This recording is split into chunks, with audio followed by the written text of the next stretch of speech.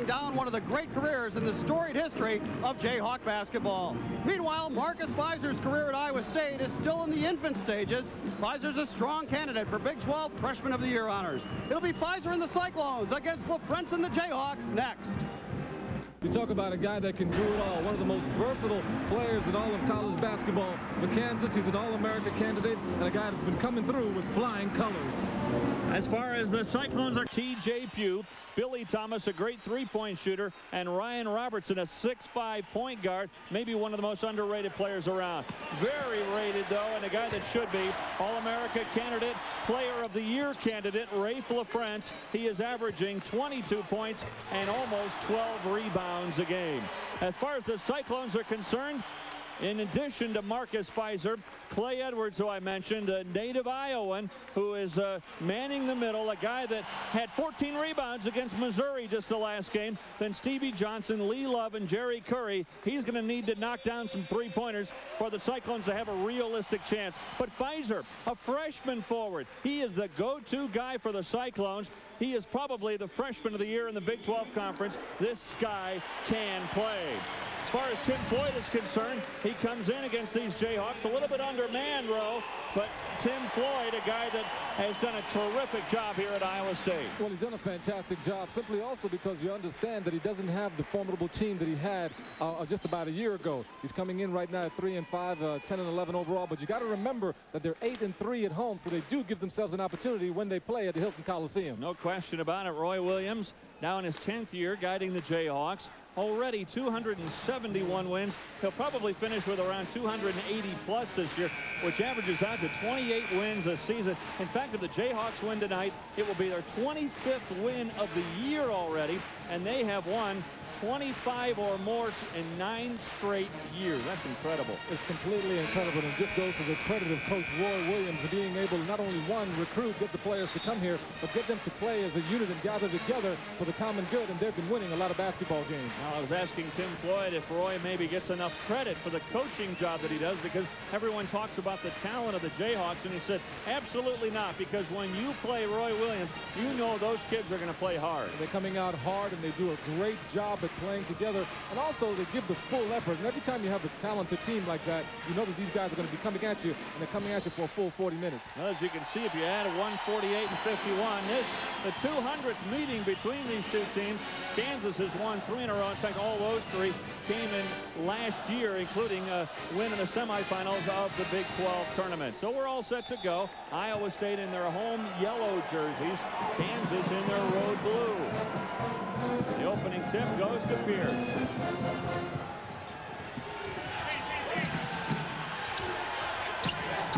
Stevie Johnson getting the assignment on Pierce out front.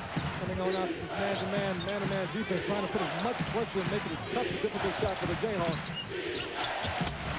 And right away they go inside to Pierce. He's getting some great ball movement right there. Pierce is able to get a good position down low, and with his talent, very difficult to stop when he's so close to the basket. So Kansas with the first possession and the first bucket of the game. Iowa State will probably try to run as much clock as they can to try to keep this game in the 60s. Well, the important part of that is that they have to make sure and take care of the ball and make sure that every possession counts because they're playing against a formidable basketball team. And these possessions right now early in the game will set the tone for what they want to do for the rest of the game. Love getting it out now to Fizer. He puts it up with three on the shot clock, and LaFrentz has the rebound all by himself. Now Robertson crosses over. Into Billy Thomas. He loves to shoot the three-pointer. That doesn't mean he can't shoot in there either. But that was a great overplay. But see, he was being overplayed so much that it was a beautiful teamwork play right there as he just went on back door fighting the pressure. That backdoor play looks reminiscent of when you played for Jack Hartman at K-State. Okay, Kansas State moves all together too. Release, release, release. There's your theme song there, Release Me.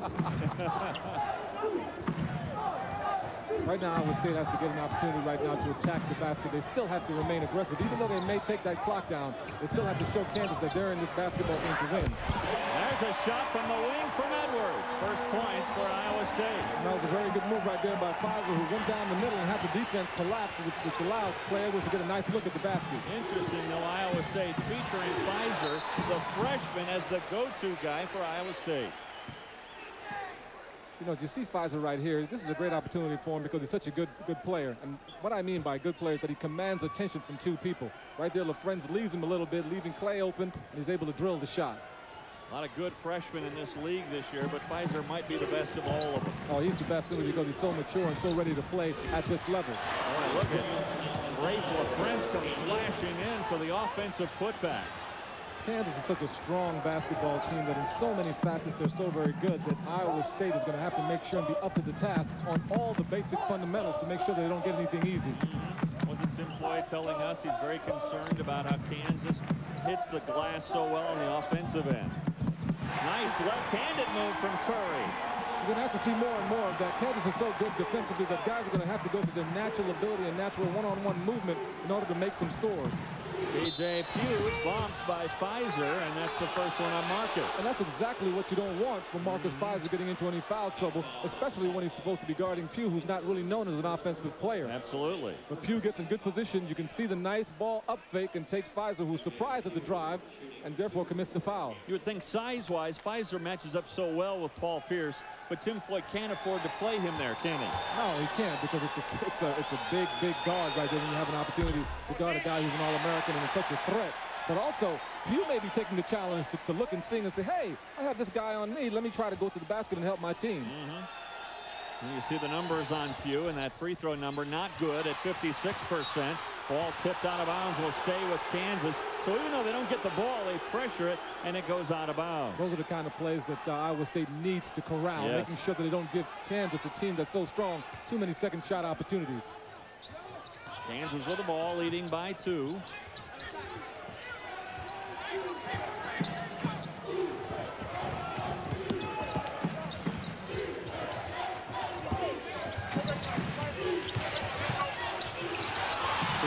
spinning and hitting. Wow.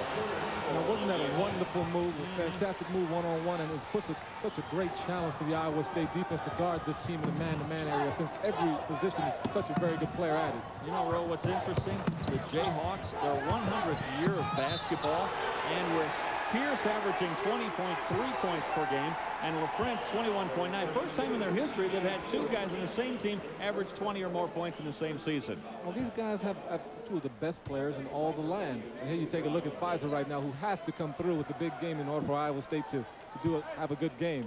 Right there, puts pressure on Pugh right there, gets him with the body bump, and uh, now he gets a chance for two free throws. And then you see his numbers at the line. He has struggled a little bit, shooting 57%. That one pure even with a guy like Fizer who has such great talent right now and is good maturity, you can see with statistics sometimes that he has a room to develop and room to grow, which will make him in the Paul Pierce LaFrentz area once, once he gets to be a senior. One well shy of the target. The three-point Kansas lead. Good defense there by Johnson to knock that would-be pass away from Pierce. Oh, that's excellent defensive play right there. As he was alert as Pierce took off. He took off right after him and kept his eye on the ball and was able to knock it right on out. We have played a little over three minutes in this one, and Kansas leading by three. The Jayhawks swing that ball. And Robertson, an easy layup. That's three easy shots for the Jayhawks. It seems like the Jayhawks have responded quickly to whatever defensive structure that the Iowa State Cyclones have been in, and they've done it in such a fashion that it made each and every score look really easy. Mm -hmm. Fizer calling for the ball. That's unbelievable, folks. He is a player. Putting that ball on the floor, doing his one-on-one -on -one thing. Pierce trying to answer, and there's LaFrentz again, but that one a little too strong. Love wants to run. Now he doesn't like the numbers and pulls it back out. I think that's one of the very, very first times right there that Kansas didn't score on one of the positions that they've had. Now see if Iowa State can respond right now and get the score a little bit closer by getting two points. Mm -hmm. Put so much pressure on you to score every time down. It's a complete pressure, and you've got a great athlete playing against you and someone who can fulfill the defensive structure very well. See the shot clock down to four as LaFrentz stuffs the shot from Edwards. He'll walk with it. Didn't get a chance to settle those feet in there a little bit. Roy Williams with a frown on his face, but he should be happy as Jayhawks leading by three. Now he can applaud, but they also have to be careful of what Fizer can do to them. Looks inside. Raef LaFrentz from Monona, Iowa, a little town in northern Iowa. And when he was introduced here, fans still here like to boo him for not coming to Iowa State University. Oh, sure. They like to let him hear about that for sure. But I tell you what, they would have loved to have had Raef LaFrentz uh, as, as, a team member here. You know, the interesting thing, though, LaFrentz really never seriously considered Iowa State. His choices came down to Kansas, Iowa, and Missouri. Well, I'm sure they still love watching him play anyway and still claim him. Lester Earl gets it back to Nick Bradford. That won't go. And LaFrentz over the back trying for the rebound with a foul. You see, with Iowa State following all the rules of fundamentals, this will help them uh, very well, simply because when that ball is up in the air, the important part of that is to make sure that you're blocking. That'll give a referee an opportunity to call some over the backs mm -hmm. and give Iowa State a chance at some more opportunities uh, on the offensive end. Clay Edwards keeping Ray LaFrentz at arm's length there and making sure he blocks out.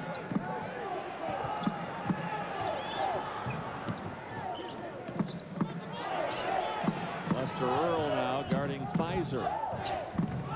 You can see where all the action is taking place for Iowa State. So it's way away from the three-point line and not near the attack area. That would have been huge for the Cyclones as Curry misses one from the top of the key. It's a very good shot for Curry also. He had a good look at that opportunity for three. LaFrentz hits yet another three. He is six for eight this year from three-point land. you know, when you've got guys that can play so well and they're so dangerous, you have a big man trailing a play like LaFrentz does on that on that early break and comes down and catches the ball. It's just a wonderful thing to be able to pull up and get three for your team. You know, coming into this year, LaFrentz had five career three-pointers. He has six now this season alone. And previous to this year, three of those five three-pointers came against the Cyclones. My goodness, well, they're letting him take the shot, and tell you what, he's dropping every one that he gets right now. Shot clock, you see again, down in single digits as Curry hits that one. LaFrentz tries another three. That one won't go. And here comes Fizer. He wants to run.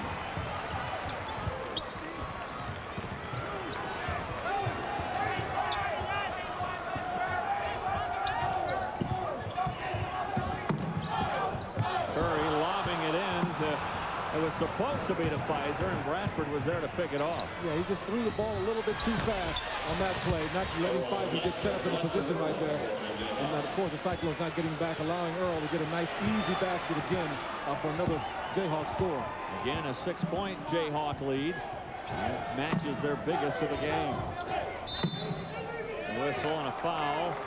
And As it looked like Love was setting a pick inside he got whistled for the foul. Well, the Jayhawks will come with uh, some fresh subs as Eric Chenoweth checks in. Tim Floyd hoping that his young Cyclones, and they are young, seven freshmen on this team, can hang tough with, I, with Kansas here today. The important part for Iowa State is to continue to be aggressive in everything that they do, whether it be defensively, putting it all together. When you have a guy like Pierce who's coming behind the screen right there, you cannot let him take a look at the orange the way he's been doing because right now he's just feeling it. Oh, isn't he ever? So Pierce ready tonight. Pierce with five points. Fizer trying to answer and does. You see, the good plays like that is what Iowa State needs with one player taking it on in like Stevie Johnson and having Fizer get the basketball with some one-on-one -on -one opportunities close to the bucket. Robertson making Love go back and forth behind Chenoweth. And Lester Earl banks one off the glass. Kansas is rarely missing in this game so far. They're not missing, but they're getting such good position each and every time they catch the basketball. And when you do that in your area as a player, whether you're a shooter or whether you're a guy in the low post like Earl was on that last play, you get an opportunity to do your thing, and therefore you get to score. Kansas 9 of 14 from the field. Iowa State shooting 62%, and yet they trail by 10. You have to remember, uh, uh, uh Kansas right now is feeling a little uh, uh, uh, ready to go simply because they didn't have the kind of game they wanted against the uh, Nebraska team. You're right. They won that game against the Cornhuskers in Lincoln, 82-71. But Roy Williams is saying, I was begging with my team all day to put in the proper effort. Listen, another foul. That one called on Edwards. So we have a timeout. 11.50 to go in the first half. Paul Pierce and the Jayhawks are really rolling right now. And we're back after this message from your friends at Phillips 66. Kansas leading by 9, 11.45 to go in the first half. A guy sitting to our left will be happy about that Kentucky score right now. Joe B. Hall is here for national radio, broadcasting the game all across the nation. Boy, the last time I saw Joe B. Hall was years ago at the 1980 Olympic trials. I'm telling you, it's the first time I saw the man, and uh, boy, I felt, I felt a big rush about that. I bet. Martine Rancik has it blocked by Chenoweth. Out of bounds. It'll stay with Iowa State. Martine Rancik has to understand that you can't just turn around and throw it right in the face of a, of a player who's just ready for you right at the end as Chenoweth was waiting for him to come in. There's Joe B. Good to see him. He looks well. Oh, he does. Nice man he is. And you talk about one of the legends in the coaching ranks, B. Hall of Kentucky. Love setting the tone out front with 10 now on the shot clock. Now they have to fight the Kansas pressure. Excellent play right there. Terrific seal job by Edwards inside. And a perfect pass by Lee Love at the right time also. Gets the crowd back into it a little bit. Gregory threw it up and is fouled. Oh, it's an offensive charge on Gregory. Gregory just leaped into the air to caught the basketball. Watch the seal right here and the perfect pass and took it right on down. Not only soft layup, put it right on through, making it sure. Now look this Gregory a little bit out of control right there as Shirley gets right in the way and is able to body block him and offensive foul. So a bigger lineup now for Iowa State, Ro. Oh, a much bigger lineup. And the thing is, they're going to have an opportunity to, to, battle on the boards. And they have some shooters out there, guys who can put the three-point plays in if they get an opportunity to do so. Who's the go-to guy, though? Fizer's on the bench. Well, you have to you have to have a whole team effort right here as far as that's concerned, too. Ransom can shoot it. You know, Paul Shirley can, can make a play. And Clay Edwards down low should be able to do a good job if you can get the proper positioning. And you see the shot clock in single digits. Love's going to have to force one out. He does. And it's too strong. That one did it catch part of the rim? No. And the shot clock expires. Yeah, had it caught just the tip of the rim, Clay Edwards was in nice position to get the ball, but it never did touch the rim. Therefore, the, the shot clock expires.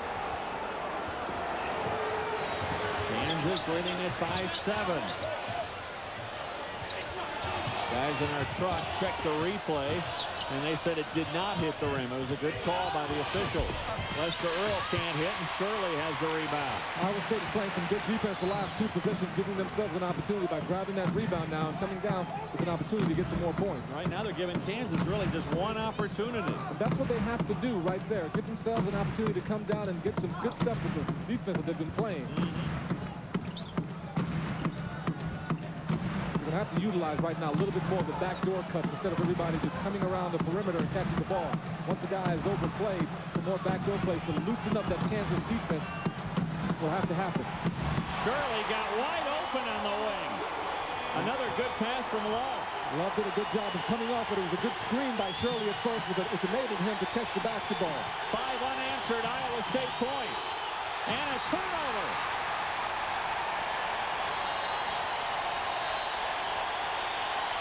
See what I'm saying, though, Ray? Even the good teams, even the good teams, they can get rattled a little bit when a crowd gets into it and the team is showing some inspirational play. Iowa State in a 6-2 run for Coach Floyd. Watch the play now. Lee Love comes off of a screen from Paul Shirley, which enabled him to be the open man right down low. And a great fast pass from Lee Love.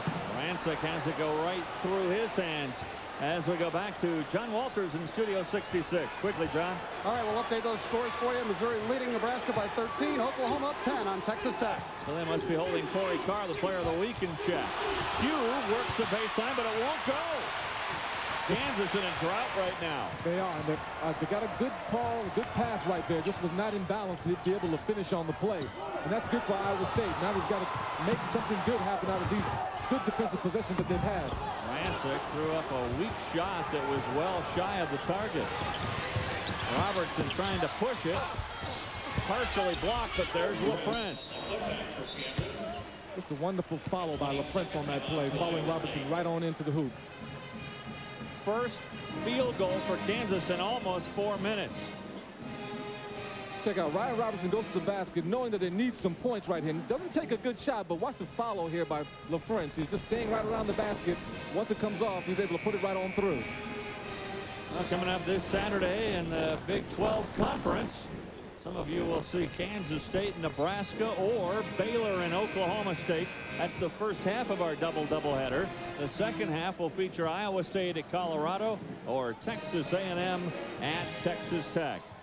And interesting as you looked at those standings to begin the game, there's Raef LaFrentz and the Jayhawks leading by one over Oklahoma. And then so many teams bunched around either five and four or four and five. Well, anything can happen from week to week. That's why it's so important every game that you play to make sure and make good on it, especially when you play at home. Well, Iowa State making a comeback with Fizer on the bench. Rancik almost lost the handle again. Important part of this whole here is not speed. It's just being able to get the ball in strategic positions, clear a man, and go back door and put some more pressure on the Kansas defense.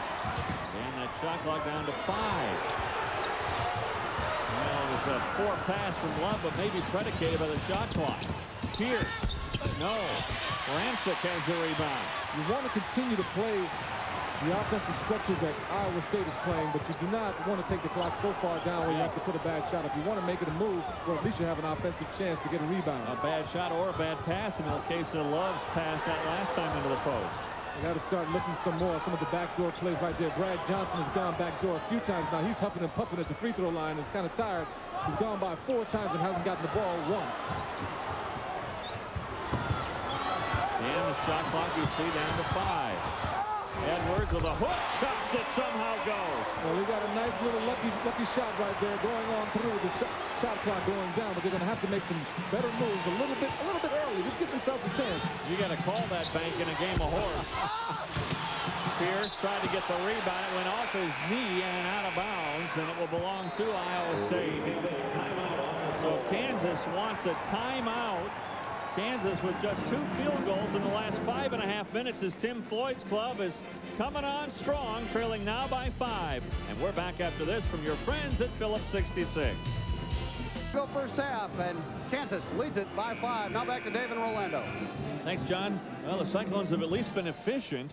8 of 14 from the field. They've taken seven less shots than the Jayhawks, but they're hitting them, and that's keeping them in the game. They're keeping them very close. The only thing they have to do right now is to make sure that they go just a little bit earlier. Maybe at the seventh second mark, someone can take the ball to the basket or get the play started where they have an opportunity to take a good shot or get a good offensive thrust to the bucket. Good strategy, though, to take the air out of the ball and limit the number of possessions in this game. It does. It also makes the Jayhawks play a greater length of time on, on the defensive end.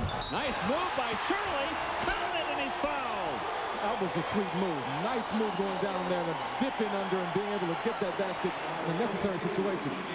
Watch this play right here. Catches the basketball, makes a nice move, a sweep under, goes to the bucket. And watch the turn on this, being able to nice finger roll. George Gervin would have felt good about that play. Well, you know what that play reminds me of? The verse in the Bible that says, surely goodness and mercy. he put it on through, especially when the Iowa State has needed that. Surely hits the traditional three-pointer, and it's a two-point ball game as Lester Earl checks back in for the Jayhawks. Iowa State has to continue to do what they're doing right now. Keep fighting, fighting hard, but also fight smart. A 9-2 run for Iowa State. And now full court pressure.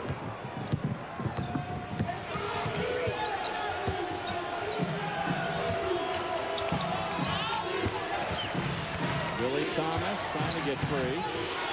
Inside to Pierce. That's where the Jayhawks want to go. That's a very nice offensive play right there with Pierce setting some back screens and is able to slide right into the post. And once he catches with a foot in the paint, you got a talented All-American with the ball close to the basket. Usually you'll get a count for two. Oh, yeah. At least two. Sometimes you get the foul and it's more. You take a look at this spread floor right here. This is a nice play Iowa State is running with. They've got to take more uh, condition with, with uh, Brad Johnson in the middle. Got to be able to utilize his talent a little bit more. Johnson falling away, missing that shot. Inside to Earl. Shirley forced to foul, and Lester will have to earn it at the line. Let's talk about that back screen. Let's explain what you're talking about here. This is an important part right here. You can see the back screen by Pierce right there, but it gives him position now. Watch to slide into the post. And once he gets an opportunity to do that, he's established his position. and being so talented right there, it's kind of hard because there you have to foul. So Rancik and Shirley kind of got confused as to what was happening. They were switching and then not switching. Completely. Pierce is supposed to go up toward the basketball at the top of the key, but instead of doing that, he saw where the defender was on his left side and just slid right into the post, enabling him to get good position. And when he gets the ball there, well, you know it's a tough, it's a tough sell. France checking out. You saw Fizer checking back in for the Cyclones. Lester Earl lost the handle at the line. He dribbled it off his foot. That's the first free throw the Jayhawks have made. They're one for four in the game tonight, and they lead by five. Jayhawks extending the pressure a little bit now, making making it Iowa State a lot long enough with the way they have to get the ball up, using a lot more time. Trying to trap Love, and he called timeout. Love felt the pressure and said, let's call time. That was a surprise and a little bit of a pressure right there, too. They weren't ready for that play, and therefore got stuck with calling a timeout. You got to be ready for those Kansas traps. They come at you frequently. So Iowa State doing a pretty good job. They trailed 20 to 10 and then came roaring back to pull to within two. And now it's Kansas leading as we go back to Studio 66 and John Wall. He's got the purple little banners out. Uh, Talking about Kansas State, oh, the yeah. resurgence oh, of the oh, Wildcats. Huh? My alma mater. Over and back, Love again, the pressure getting to him. That's too much pressure right there with no passing outlet. Once he picked up that dribble at half court, Kansas cut off all the passing lanes and therefore had no avenue in which to make a pass. It's okay, you still bleed purple. That's quite all right. Chenoweth holding the ball. Lester Earl, Ryan Robertson, interchangeable parts of Kansas. So much talent. And is that an offensive charge? It is as Shirley got inside and wouldn't allow Robertson a path to the basket. And now one of the officials is down. Wally Tanner slipped on the court. Wow, looks like he went down hard too and he's in some pain. There's a lot of moisture down on that court right now and Wally Tanner took a slide. I didn't exactly see what happened. Maybe we'll catch it from one of our replays. Ladies and gentlemen, the part of both the coaches and the trainers out there as we take another look and try to see what happened. Well, they made the call there, and then the knee just buckled, or something happened. I'm not sure exactly what, folks. I don't know if it's a knee. He's up right now, kind of sitting up, as both Tim Floyd and Roy Williams are checking things out and having a little bit of a chuckle about what's happening with Wally Tanner. Boy, the way he went down, I thought maybe some sort of a you know trouble in breathing, but then exactly. now they're looking at the knee. It looked like it just twisted as he made the call. Might have just might have just buckled in on him here. Shirley takes the charge. Back to the business of playing basketball. 25-20 Kansas 503 to go first half. You know who's doing a good job on the defensive end right so also is, is Shirley who's getting an opportunity to watch as Kansas players are getting open and he's drawing two charges right now and getting in the mix which is a good thing defensively. Shirley from Kansas. It's got to be a throw for him. Again, they're pressuring Love. Every time he touches it now, they're trying to trap him. Stevie Johnson, he draws the foul. That one on Pierce. Stevie Johnson got a great opportunity right there going to the basket, especially when you're in a one-on-one -on -one situation. Lee Love got him the basketball. He's got to do something right there to be able to finish getting to the bucket where everybody converges on him. So Pierce whistled for the foul. That's his first. Pierce leading the Jayhawks with nine points. That shouldn't come as much of a surprise. Pierce has been in double figures in 39 straight games. Looking back in. And will be Nick Bradford for Pierce.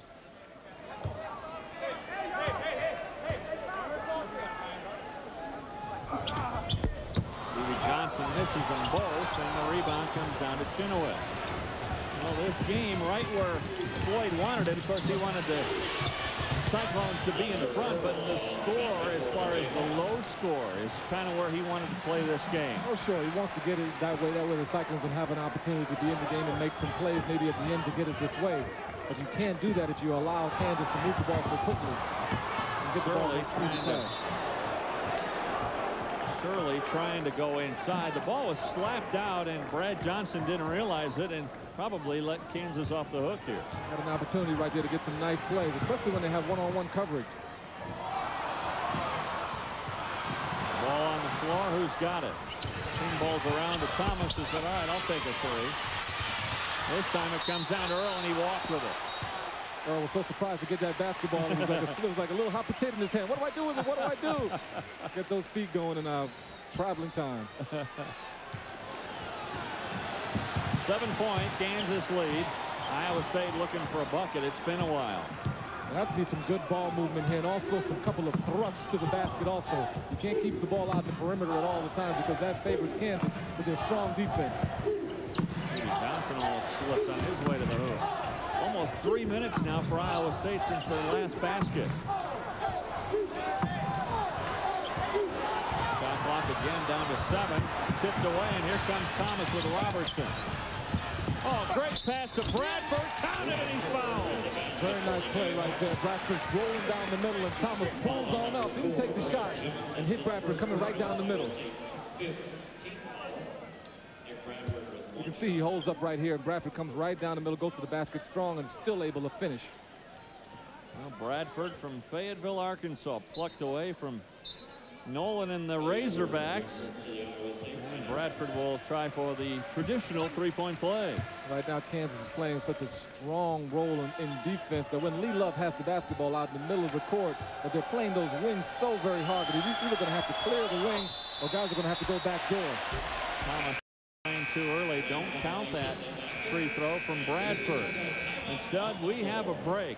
Roy Williams kind of shaking his head, but still his Jayhawks leading it by nine. And we're back after this from your friends. But uh, also Kansas just proving their dominance in this conference as they're shooting over 50% once again. Iowa State staying close by shooting 56%. He's got to be able to fight the pressure and get some good shots. Kansas playing his own right now. He's got to look for Curry, see if he can get himself open right here. To be able to drop a few of these jumpers. Curry. Got a three. That's big. Those are the kind of moves that they need. They've got to find guys that can put the ball in the hole, especially since today it's a little bit of a less pressure right now that they're facing than they were a few minutes ago. Oh. Kansas was all over them at half court. No question. Lobbed inside to Earl. That's just too easy, isn't it? Too easy. Those kind of plays will, will kill you. I tell you what, especially when you just scored a nice bucket, you got to come down and make Kansas work and keep yourself a little bit closer. Love feeling the heat again. Trapped one more time. Robertson stole it away, and then Love tipped it out of bounds. And, and, and, defensive love on that play, that's not his fault right there. He's at the middle of the basketball floor, dribbling the basketball. They trap him, and no one, they have three players on the baseline, no one flashed to the middle for him to relieve some of that pressure. Talk about the strategy, though, of Roy Williams. All of a sudden, every time Love gets it, they're pressuring him, and they're also minimizing the touches of Marcus Fizer. Completely. He's not able to get the ball in good position, and therefore not able to do the things that he can do when he does get the ball. Mm -hmm.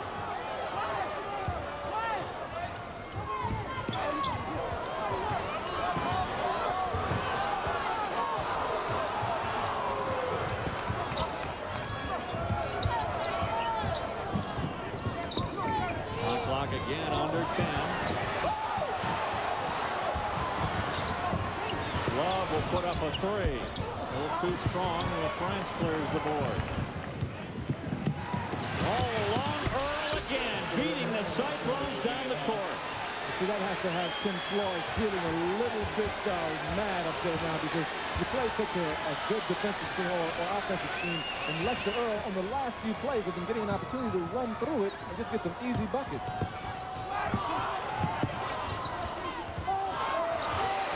Here comes Gregory. Showtime for him. Get that ball one-on-one, being able to take it back to the basket off of a miscue. And right now, Iowa State is breaking down just a little bit right now. The time is getting away from them, and the score is pulling away. So Kansas on a roll right now, right before the half, to take control of this game. Their biggest lead now, it's a dozen. A 13-3 run by the Jayhawks. Fizer can't get that one. Triple team down there an opportunity to get a shot, but just not in good position to be able to take that shot.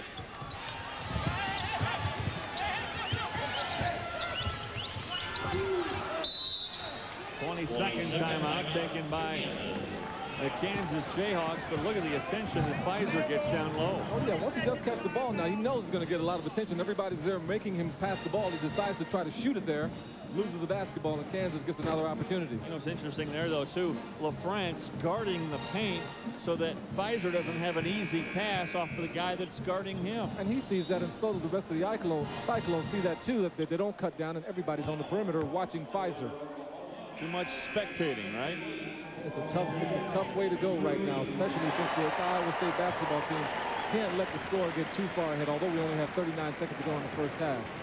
And look at this, already a dozen point lead, just one field goal for the Cyclones in the last six minutes. You see the time remaining in the first half.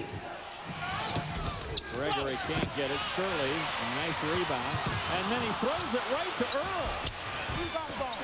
And then he, luckily for him, gets it back. Extreme luck right there. You don't want him to go 14 on that play because not only is it 14 points, but it's also emotionally deflating to do that. Shot clock off. You see the time remaining.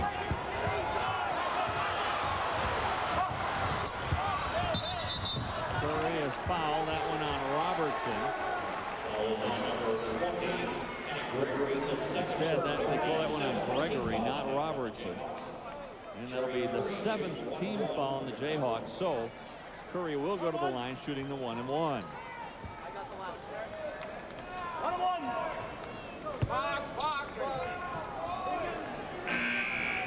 Curry, a 65% free throw shooter. Billy Thomas checking back in for Gregory. No one in this game in any kind of foul trouble whatsoever. Five seconds to go in the half. I think one of, the, one of the things Tim Floyd is going to be talking about at halftime is to make sure that they get some stronger, stronger guard play because they are the ones that have to get the team balanced, settled, and also get the ball to scores and in, in good positions in which they can put some points on the board. And that's been a very difficult thing for the Iowa State basketball team. Well, they've been hoping for better guard play all season long, and the two guards that he hoped were in the backcourt weren't eligible this year. And that's hurt. Robertson pushed by Love with just one second to go. Robertson's telling, going to himself, my goodness, I was shooting, I was shooting, I need that three. 16 foul, so unless that was a shooting foul, it will not be a shooting situation for Robertson. I think they called this one before the shot, it looks like. Oh, they did call it before the shot. Right. call before the shot, but he was lobbying, trying to get three free throws out of that. Oh, well, like the NBA, that's a continuation. Earl on the inbounds. Wow. Boy, what great execution on that play from the out of bounds. Well, I'm kind of glad now that they didn't let him shoot free throws. That was a lot more spectacular. What a way to end the half for Roy Williams Jayhawks. It was a nice communication that they had right there. Some serious talent to catch the ball and be able to do that. Boy, a big run for the Jayhawks to end the half, and they lead it now by a dozen, 37-25, as we send you to John Walters in Studio 66. A good percentage of their shots, which keeps them somewhat in the game, trailing by a dozen, but look at how many more shots the Jayhawks took in that first half. Well, they're doing that simply because they're pressuring the Cyclones so much, giving themselves some good opportunities and getting the ball, and also Lester Earl running on out and getting an opportunity to get the ball quick and early and being able to put it through, which puts more pressure on the Iowa State offense. I thought it was interesting when Tim Floyd told us, he said the reason we've had some success against the Jayhawks in the recent past because we've had good outside shooting with guys like Dedrick Willoughby able to knock down those outside shots. Just one three-pointer for the Cyclones in that first half. And that's very, very difficult because those guys have not been able to get open simply because so much of the pressure. And Lee Love is having a tough time in getting the ball to guys in good position in which they can utilize their talent. So Marcus Fizer pretty much held in check the second half of the first half. He scored five early points, and then the Jayhawks put the clamps on him. It's the Cyclones with the basketball as we start the second 20. Good move by Curry. Very good move right there. They know that he has a very good jumper, so with a nice up fake, he goes flying by, and he's able to finish with a good left hand. Inside the few. Look at the positioning inside. How do you stop that, Dave? You can't do that. If you catch the basketball that close, anybody can drop it as well as he did just then. Mm -hmm. Well, LaFrentz had a quiet first half by his standard. seven points, five rebounds, but he also has a couple of assists in this game. But everyone else is scoring. They're playing such good defense that everything is happening out front. They're either getting the basketball out, people are running out, or they're getting quick steals and kept getting on down the floor. Leading scorer in the game, Lester Earl off the bench with 13 first half points. There's LaFrentz again with a putback. Dude, that's a nice position right there, and LaFrentz battling on the other side, not giving up position. The ball came off in his area. As you know, he's able to put it right on up and through. So now it's 41-27, 14 points, the biggest lead for the Jayhawks. But look at the pressure that the Jayhawks are applying right now. Everyone is being pressured. It's not even to catch the ball. They're, they're the pressure even to catch is very difficult. Not to go to the bucket. Love gets it over to Edwards, and his shot is stuck. You got an opportunity right here to see if you take the shot, and there you see LaFrentz battling on the other side, getting good position for the offensive putback.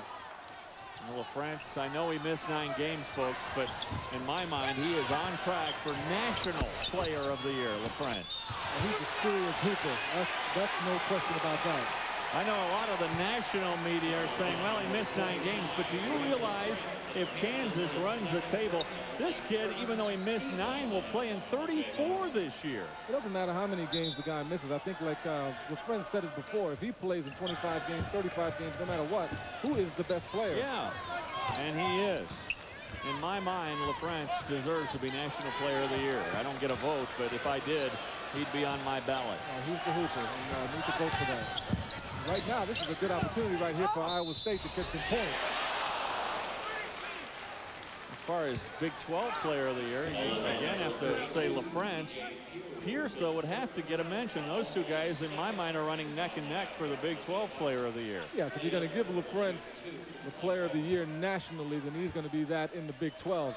But uh, Paul Pierce is definitely an excellent basketball player and a guy who's vying right up, right on up there for first team All-America honors. If you consider conference games only, you'd really have to consider Pierce strongly because LaFrentz did miss quite a few conference games only.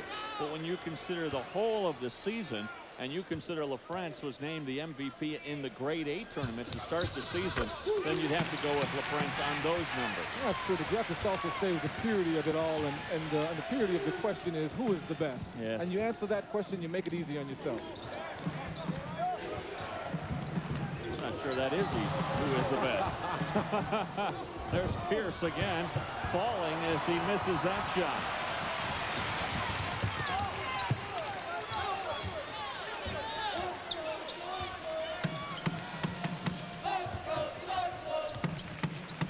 now look at this. You even have Paul Pierce playing against the point guard right now and giving Lee some trouble out there, too. Yeah, he is. Talk about versatility.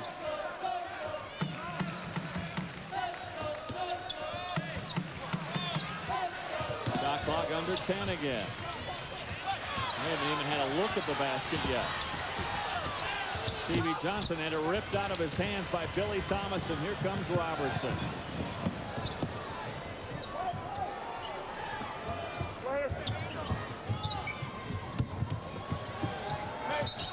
France, did he walk with it? Yep. Kind of dragged that foot a little bit, making all the all those smooth moves over there, trying to get off the back. Trying to get Klay Edwards off his back right here, trying to make all the moves. A little bit of a slide there. It's a slight. It's a slight slide. See, I know your NBA, NBA eyes are looking at that going, what's wrong with that move? And you know something, Dave? You're right. You are right. Fizer finally gets a touch. Not a basket, a touch. He hasn't touched the ball in a long time. Oh, my. That's an opportunity right there for the Kansas Miskey on the defensive end, but he knew what to do with it once he caught it. Pierce fouled by Stevie Johnson.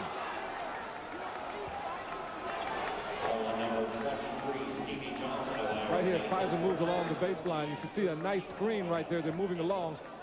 Gets an opportunity as He's left alone, but he knows exactly what to do with the ball once he gets that. He's so powerful underneath that once he gets so close, it's tough to stop him.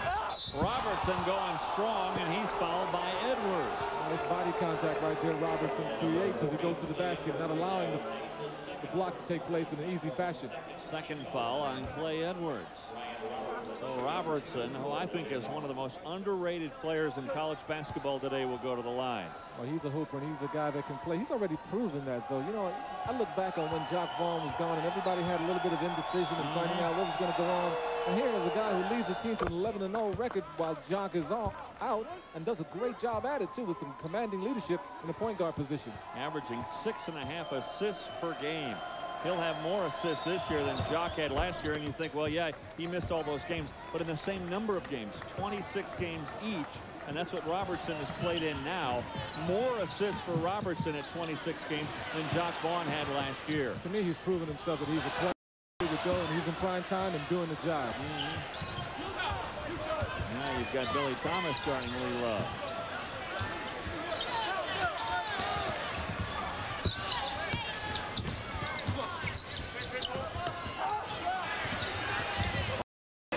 seven on the shot clock.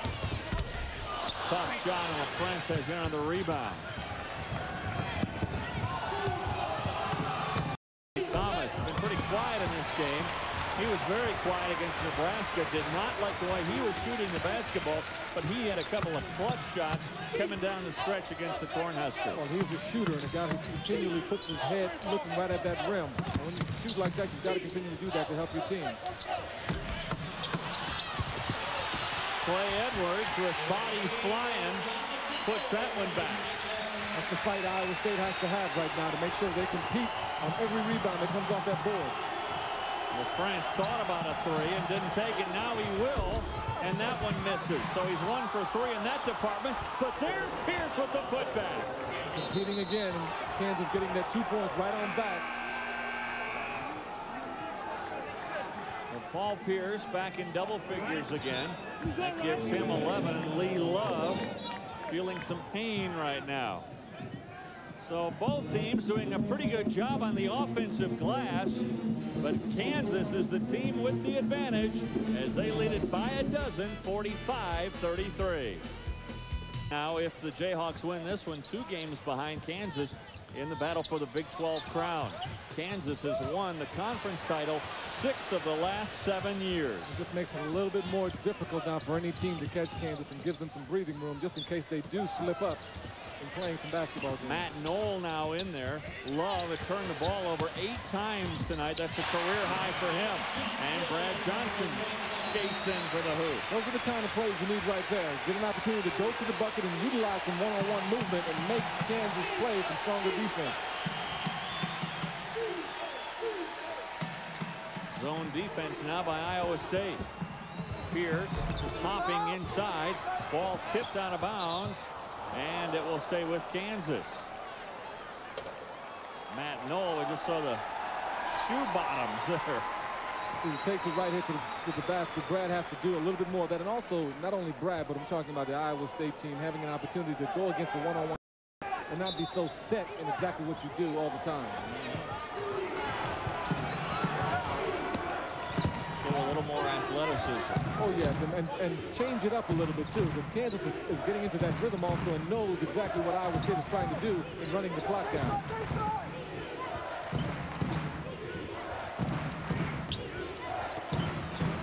LaFrentz can't hit that one. The other All-American is there for the putback. Exactly. Following the flight of that ball as LaFrentz took a tough shot with Fizer on him right there, but he followed the, the, ball, got the rebound, and was able to put it right on back in. That's the best one-two punch in college basketball today. Completely. You got some go-to guys, and each of them feed off of each other and do a great job. Nice spin move by Johnson. Earl blocks the shot, but Johnson draws the foul. That one on Pierce. Those are the kind of plays that I was talking about, Dave. Being able to see the one-on-one -on -one situation, getting the ball right there in the middle of the court, and being able to apply yourself one-on-one. -on -one, because if you keep passing the ball so much, your time is going to go down, and you're not going to get the good opportunity because Kansas's pressure is awesome. So Stevie Johnson goes to the line where he was 0 for 2 in the first half. Oh, box out now, box out. 0 for 3 now. Tim Floyd saying, look, we're trying to play hands-off defense and have the advantage at the line, but if you guys don't knock the shots down, it's really going to hurt that strategy. An 11-point game. Robertson was fouled from behind by Matt Knoll. Can't blame Matt for that. He has to stay aggressive the way he is right there and try to see if he can get some steals. Just made a little mistake on that play.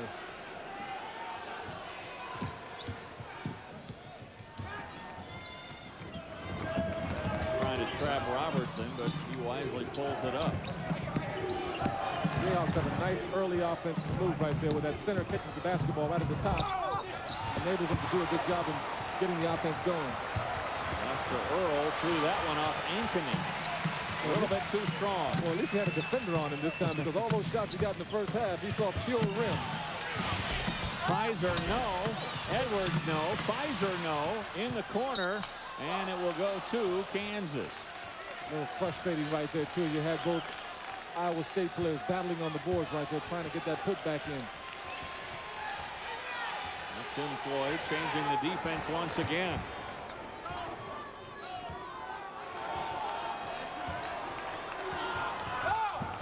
A lob inside. And Gregory couldn't get to the ball. Edwards got in his path. Nice play right there as he kept in contact and read Ryan Robertson's eyes a little bit as far as the pass is concerned and, and was able to tip that on out. Earl knocks that one out of bounds. CB McGrath checking back in for the Jayhawks. Now watch all of this now. We got some serious physical play going on in here as that ball goes up on the boards. Klay Edwards is on one side and Fizer's on the other. And they're both battling the Kansas team that's very, very strong on the offensive rebounding end. Being able to put on that, just lost it out of bounds. Iowa State with the ball. And now a timeout taken by Matt Knoll. So Cyclones having trouble just getting the ball. Buffaloes who almost upset Oklahoma State in Stillwater last night. Cowboys had a 16-point lead in the second half. Colorado came back to tie it, send it to overtime, and then the Cowboys dominated the overtime period. CB McGrath, the senior point guard, as they run that high-low play again. TJ Pugh somehow gets it back and gets it out to Thomas. That was some great battling right there. Good banging inside by the Iowa State players. Fizer gets that one. That was a good defensive sequence right there by Iowa State, being able to apply themselves and doing the job. My imagination, or is this getting a little more physical? Oh, it's getting physical. They're, they're applying. No one's letting anything go. LaFrentz going for the, or Chenowith, excuse me, going for the rebound, and and then bodies flying. We're talking about physical right here. Is a foul is going to be on Pugh. Call a hold on 32. Watch this ball go up here, but watch the physical play underneath right now. Coming on through. Bodies are flying all over the place, too. Those guys fight for that rebound. Bodies flying, and the crowd trying to get in this one. Kansas still leading it by 11. And we're back after this from your friends at Phillips 66.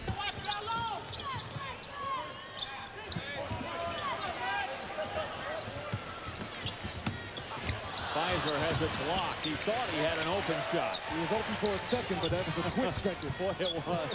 It was a millisecond. Shot clock is at eight.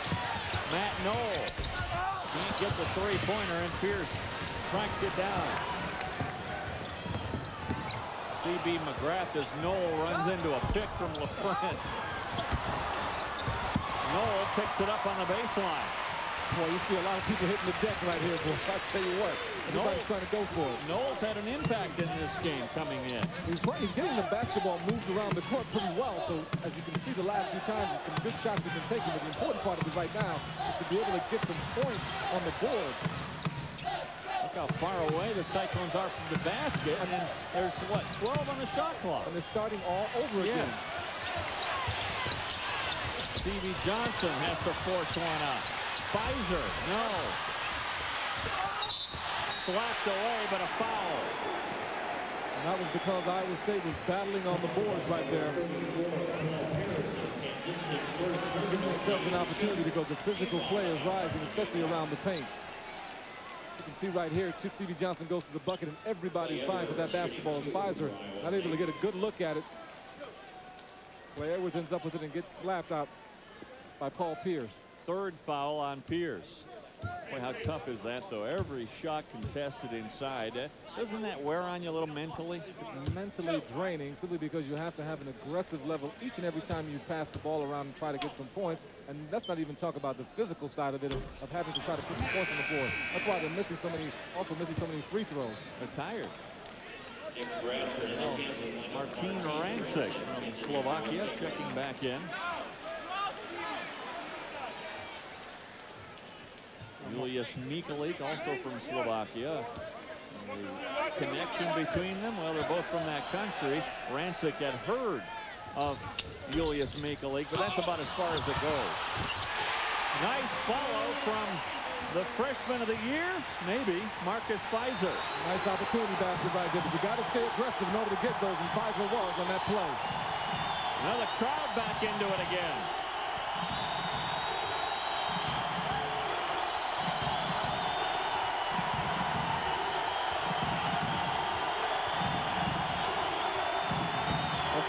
What defense are they running? Right now they're playing a little bit of zone.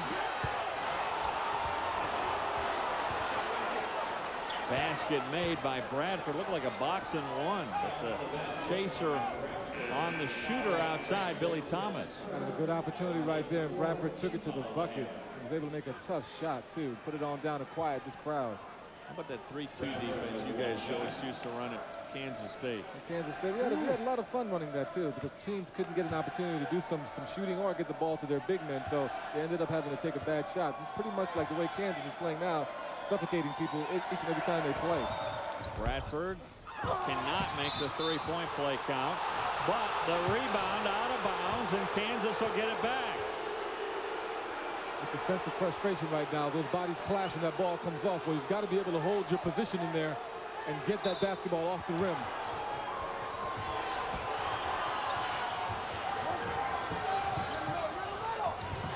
Robertson for three.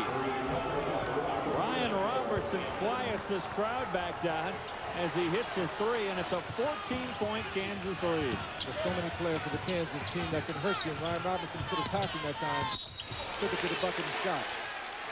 Chenowith with the foul as we go back to John Walters. What happened at Mizzou tonight, John? Great basketball game. Went to overtime, and Missouri does hang on to win it 81-76. And as we told you earlier, Texas Tech wins in Norman tonight 70 to 68.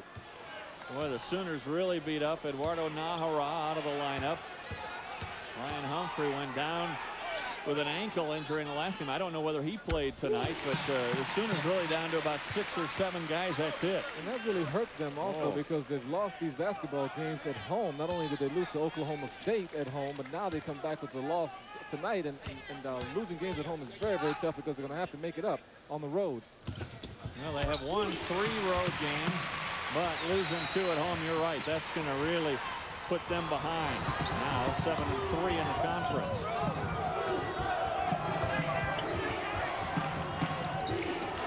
Backdoor Thomas. Yeah, count it. You can see the same things we were talking about before, the ball movement and getting out there. It's the same thing that Iowa State needs to do in the, at the beginning of the basketball games to go backdoor and negate some of that pressure. Kansas matching their biggest lead at 14 right now. Fizer, he is fouled from behind by LaFrentz. And Raef LaFrentz picks up his third foul. Fizer's a pretty big dude to, to guard around there, too, especially when he's trying to catch the ball in the post. He takes up so much space that if you do come around him, it even looks like a foul because he's going to get the physical contact. A couple of good-looking freshmen at Texas, but for my money, Fizer is the freshman of the year in this conference. Well, he's had to do so much here at Iowa State trying to get an opportunity to play and so much responsibility being heaved upon, a, I mean, a freshman's shoulder mm-hmm. in his first year. But, yeah, All-America's been able to handle it. Well, McDonald's All-American, one of six in this game. The other five are all playing for Kansas. Five against one. Not fair.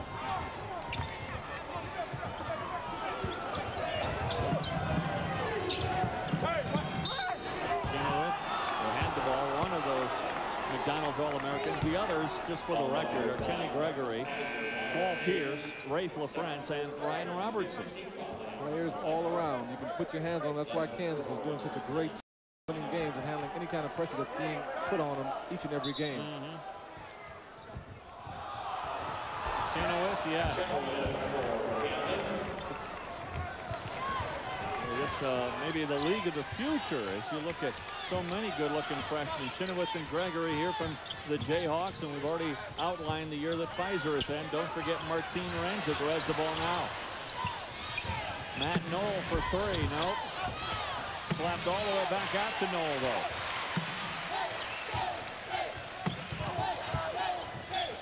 Rancik. He has a good-looking shot, doesn't he? He has a good-looking shot. He's a big player also. Once he gets an opportunity. Earl coaxes that one home. Lester Earl is on the track team. I'm telling you, once that ball goes, he's running down and they're looking for him, and he's finishing. What a pass from Robertson, though, too, huh? Completely, because he knew Earl was going to be running. They talk about these types of things at halftime. And once it does come up, Ryan knows exactly what's going to happen, and he's executing the play perfectly. Now I'm going to make you feel old. Robertson came over before the game, and he said, Ro, good to see you. No, he called you Mr. Blackman, and he said, you remember in Lawton, Oklahoma, I was in the first grade, and you came out and signed autographs when you were with the Mavericks. Oh, man, I tell you, well, that was a big punch to my stomach, because I'm still thinking I'm young, and I'm meeting so many kids that I've met all throughout my time. I'm telling you, and now he's telling me first grade. I'm saying, oh, my. Time is flying on me here. yes, it is. Curry, he's double teamed, and Robertson makes him pay. Curry just not well equipped to handle that situation right in the backcourt. He lost that basketball and didn't even see Ryan Robertson coming up and was able to get a steal and go right down the court to get a basket. Robertson now over 300 career assists. He doesn't even see the double team coming. And Ryan Robertson sees the ball right here, gets a hand on it, takes it right to the cup, and is able to get the bucket and not the bucket, but he's able to get two opportunities for uh, some free throws. He'll hit them 70% from the line this year. There's one. He averages almost 10 points a game, almost three rebounds a game, Robertson, and I already told you about six and a half assists. Chenowith going out for T.J. Pugh. Interchangeable parts once again for the Jayhawks. Really, such tough defense by the Jayhawks that they can just wear you down as the game goes on because the intensity level just stays stays up so high all the way throughout the game. 19 points now the lead for the Jayhawks as they're pulling away from Iowa State. Rancik just didn't follow that ball into his hands. Yeah, it's just a tough sign. He's coming around that screen. Kind of felt like he was open a little bit and took his eye off. Slipped out of bounds. Another miscue by Iowa State.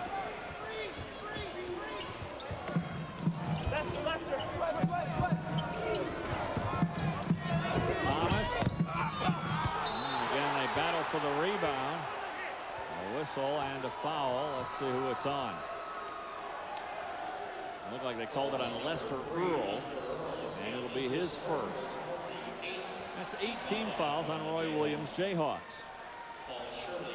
Lester Earl's been flying around so much, going in and out of the basket, especially from one end to the other, that he hasn't even been involved in the skirmishes. He's been getting out there and getting some points, though. Yeah, yes. Earl tonight, 16 points. Shirley at the line. One and one, and he'll get the bonus. Hey, guys, don't push him up on You can see the Iowa State players breathing very, very hard, though, because you have to go against this pressure. Not only that, but try to get this chance to score and put yourself in position. And it's just so tough when you have to do it over a 40-minute period.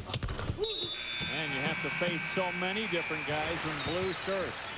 But Ryan Robertson and the Jayhawks taking control of this game as Kansas at the 750 mark leading at 61-44. So Roy Williams, a superb job once again in guiding these Jayhawks not only here tonight but throughout the season this will be for Kansas their 25th win of the year. And as I mentioned the ninth straight year the Jayhawks have won 25 or more in a season. That's remarkable folks. Completely remarkable completely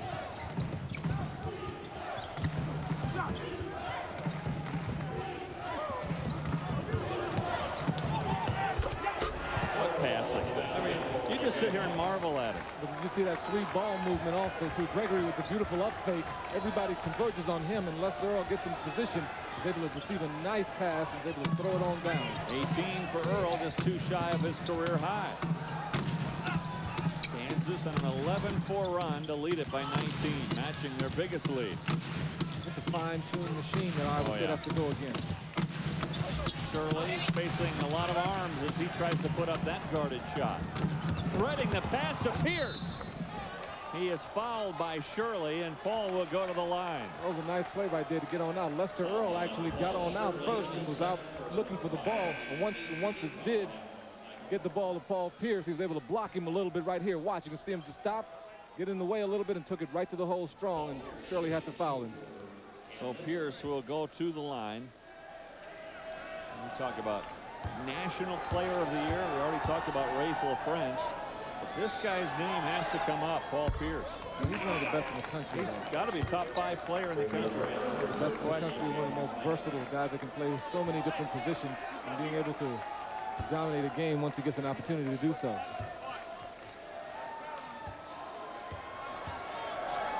Looks like Pierce and LaFrentz will both be named consensus All-Americans by the end of this season. That's remarkable. There's so much talent on this Jayhawk team.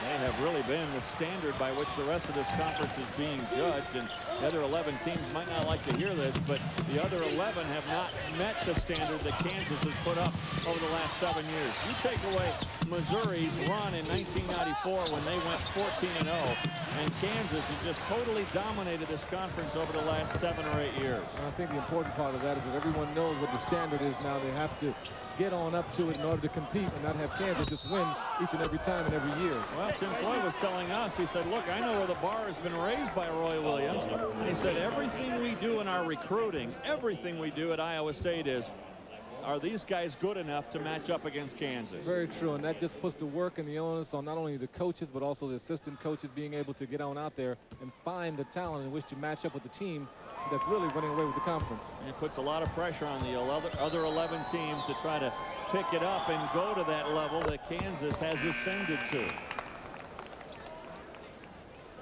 Jayhawks now with Oklahoma losing today, seemingly in control of perhaps winning another conference championship this year, and you just have to give them their due. The Jayhawks are one of those teams that I think the historians will look back and say that was a dynasty. That was a decade in which the Jayhawks were a dynasty in the Big 12 and formerly the Big Eight Conference. Kind of reminds me of that year, where, I mean, reminds me of that year, David, when uh, Indiana lost that game in the, in, the, in the, playoffs and was able to come back the very, very next year and win the championship after having so many, so many, many good players on the, on the basketball team.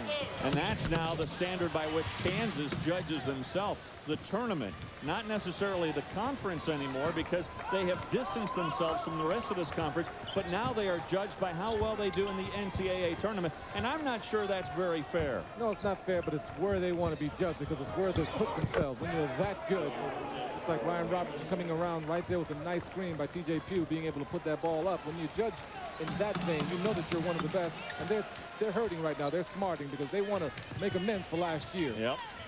Robertson now in double figures with 11.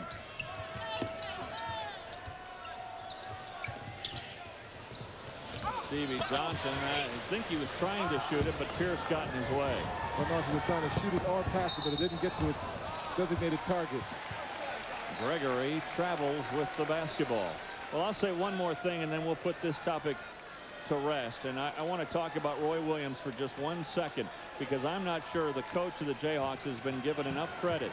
Recruiting is part of the battle when you're talking about coaching, and he wins that battle almost every year.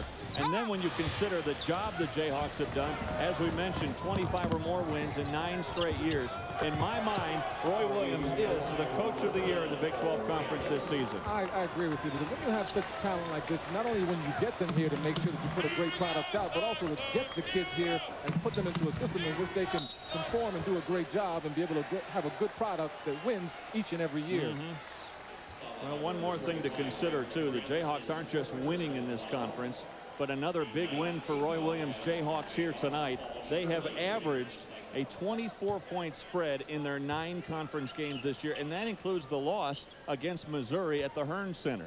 24 points the spread between Kansas and the rest of the league. And tonight, not the exception, rather the rule, 72-44 KU.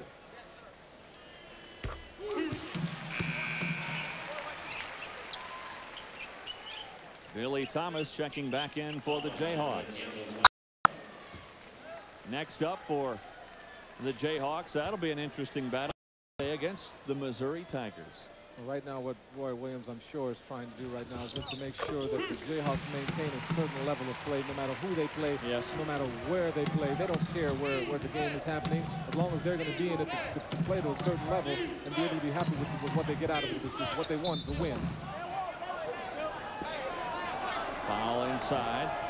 Pierce begging for that basket to be counted. It was blocked. Well, he's getting the basketball in good position right here. and He's able to get the ball, make a quick move to the basket, make, a, make the referee make a decision to see if he gets an extra point or two. So Pierce at the line with 17 points tonight.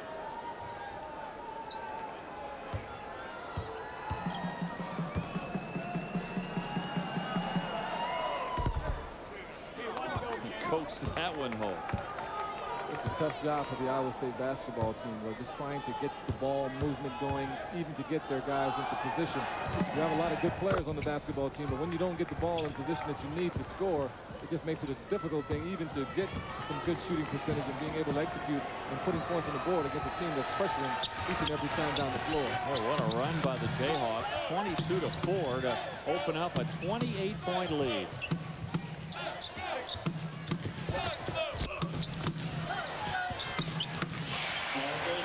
Fizer. He's had a nice game. You can see how talented he is, but once he does catch the basketball, he knows what to do with it. He's powerful and very strong with some good moves. But it's just that this evening he's not able to get the ball in the position that he needs in order to be effective for Iowa State. Pierce, did he walk with it? Yeah. Paul Pierce thought that was a pretty good move, but caught for the travel and a turnover. So Paul Pierce and the Jayhawks are pulling away now as they lead it 74-48. And we're back after this message from your friends against the Buffs in Boulder. Raef LaFrentz, kind of an off night for him as far as offense is concerned. Just nine points, well below his normal average of almost 22. Yeah, it wasn't needed though. That's the No. situation. Everyone else was getting an opportunity, and they were making good on it as the game went on.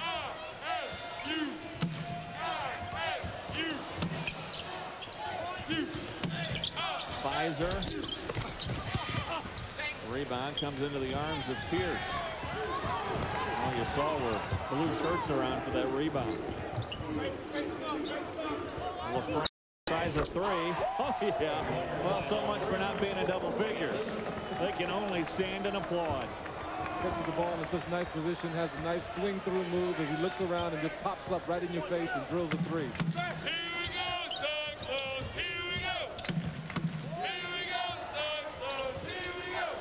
Out of the sellout crowd now finally here as Shirley bumped on his way to the basket. And he'll go back to the line. If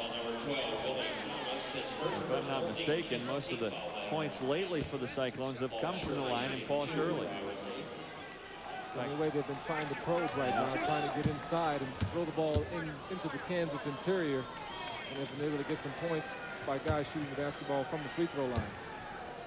Shirley must like playing against teams from the Sunflower State. He scored a career high 19 against your alma mater, Kansas State. And if uh, he makes a free throw here, he'd have 10.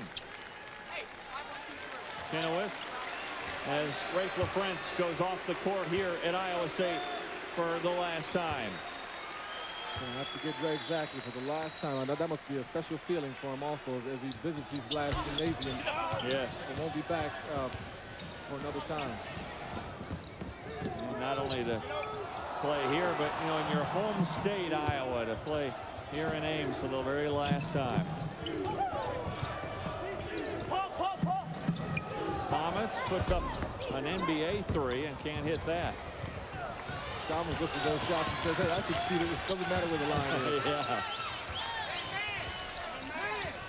Under two and a half to go now as Robertson fouls Knoll. It was almost like, okay, I want to come out of the game. Robertson saw the crowd over by the scorer's table and said, I've had enough. Got an intentional foul going here. Make a nice substitution pattern. Let everybody come on in the game. What a game for Robertson.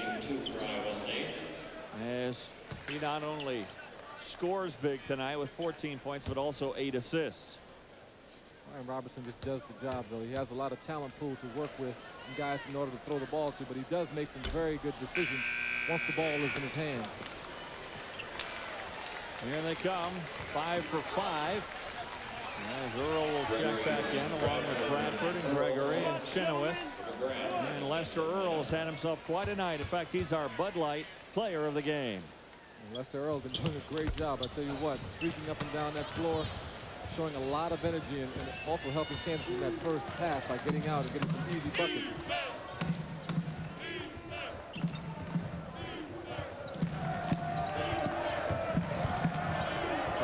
Bradford turns around and hits that one. Now the lead at 31. A lot of offensive players. Roy Williams makes a change, but it's not a change within lower grade uh, basketball players. These guys are chomping at the bit to get on in there and still produce some points. This is the 200th meeting between these teams. Largest margin of victory in either place, 24 points by Kansas. The largest margin of victory in Ames, 22 points. That came way back in 1919 when Phog Allen was coaching the Jayhawks.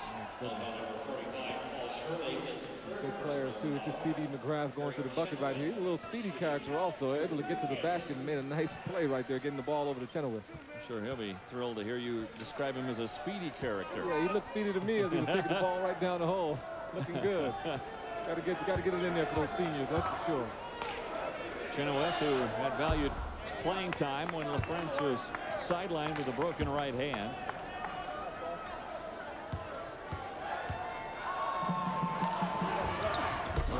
With the win tonight will improve to 25 and 3. The Cyclones will drop to 10 and 12. That's an incredible amount of games played and an incredible amount of wins by the Kansas Jayhawks. Whistle and a foul. Send Stevie Johnson to the line. And it looks like some of the guys who get limited playing time will check in next for the Jayhawks.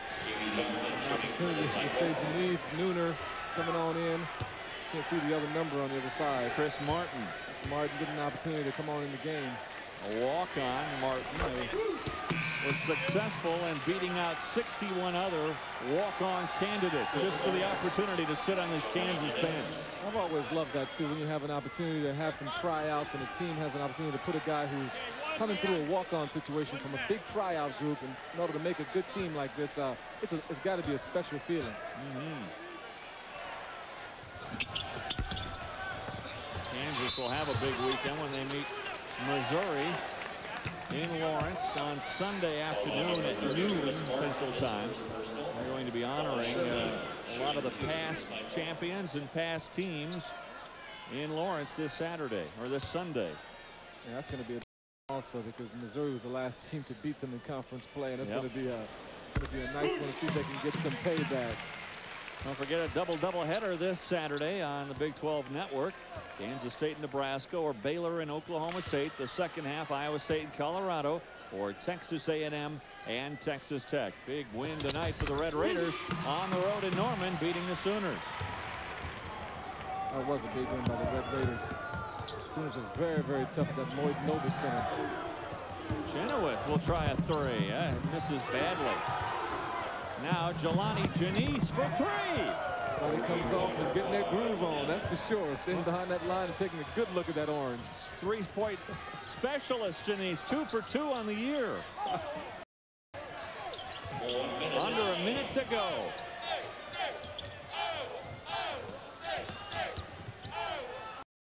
Stevie Johnson.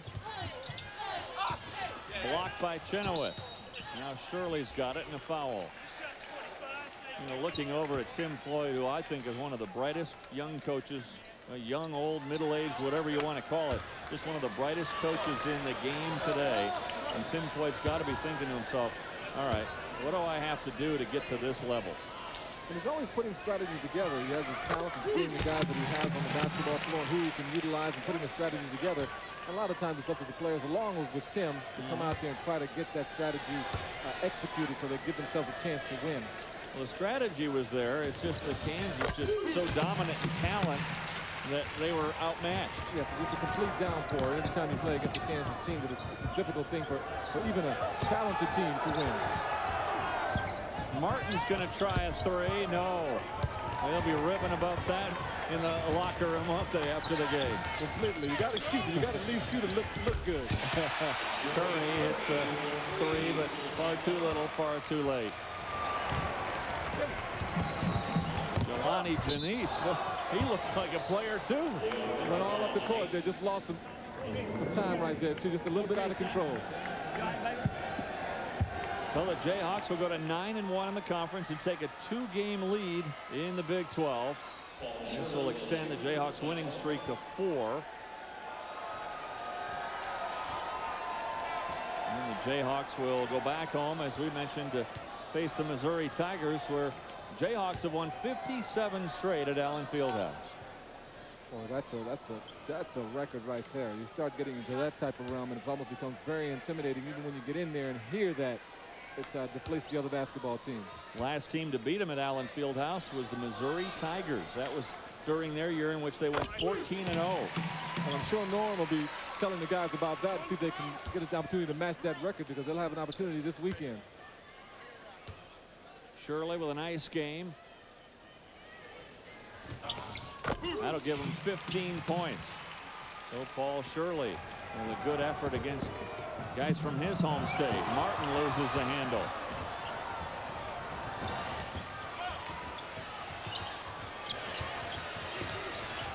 Stevie Johnson with a nice move. Under 10 to go.